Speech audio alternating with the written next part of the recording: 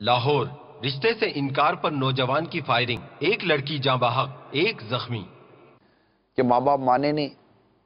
لڑکی کی شادی کر دی، لڑکے کی گھومی، آیا، بارات نے فائرنگ کی، مارا پیٹا، خود اپنے آپ کو گولی ماری اور خودکشی کر کے مر گیا۔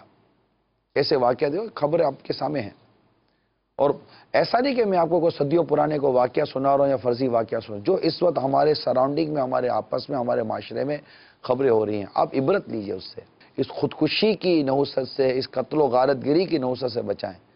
یہ قتل ناک حرام ہے، اس کا عذاب برداشت نہیں ہو سکے گا۔ اور یہ کیسے ہوتا ہے؟ یہ جذباتی پن سے ہوتا ہے۔ غصے والا انداز ہوتا ہے۔ جب جذبات کو ٹھیس لگتی ہے اور آپ کی خواہش پوری نہیں ہو رہی ہوتی، آپ کی کوئی بات نہیں مان رہا ہوتا، تو آپ جذباتی ہو جاتے ہیں۔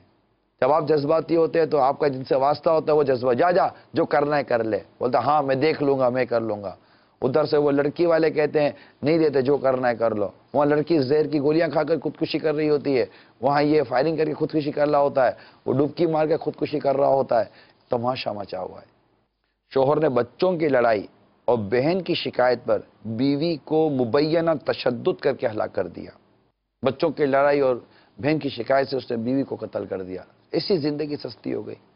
قتل ناحق کا عذاب یہ کس سے برداشت ہو سکے گا؟ خودکشی کر رہے ہیں۔ خودکشی کا عذاب کیسے برداشت ہو سکے گا؟ وجہ کیا ہے؟